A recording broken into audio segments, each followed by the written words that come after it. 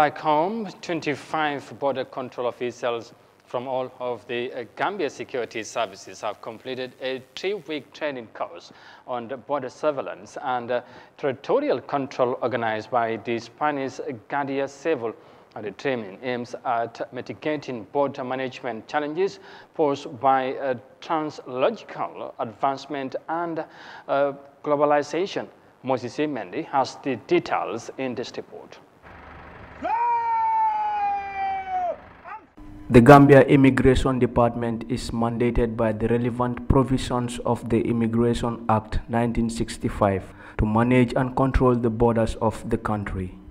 But over the years, challenges posed by technological advancement and globalization have prevented the department from making headways in this endeavor. The absence of strategic operational modalities and patrol equipment supported by professional and well-trained border officials means smugglers and traffickers can easily outmaneuver border controllers. The three weeks of training facilitated by officials from the Spanish Guardia Civil has therefore proved a way forward for border control officials to effectively and efficiently confront challenges and threats posed by these criminal activities. The Director General of the Gambia Immigration Department, CDM Toure, believes the training will go a long way in enhancing capacity in the overall management and control of national borders.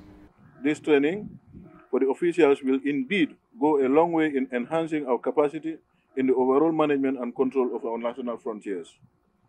Additionally, it is envisaged that on the completion of this training, the officers trained would have acquired the requisite knowledge, and I challenge them to implement the best practices that have been learned and equally share the experience with our colleagues. I am of the conviction that this aim has been accomplished given the caliber of facilitators who contributed to the training. The training is just one of a series of other trainings conducted by the Guardia Civil for officers of the Gambia Immigration Department and relevant stakeholders. Speaking at the closing ceremony of the training program, representative of the Spanish antenna, Ana Garcia, highlighted areas in which her country has been contributing to the Gambia. This is a very significant part of the overall work that Spain is doing in the Gambia in security sector. Just the past year, we have engaged in multiple capacity building projects. We have fully launched the COP Gambia project, which is an EDU funding project to fight migrant smuggling and human trafficking. We have further developed the Guardia Civil joint uh, land and sea patrol with the GID and the Gambian Navy, and we have reinforced the Ministry of Interior in their material capacities um, as well as uh, in their budget support.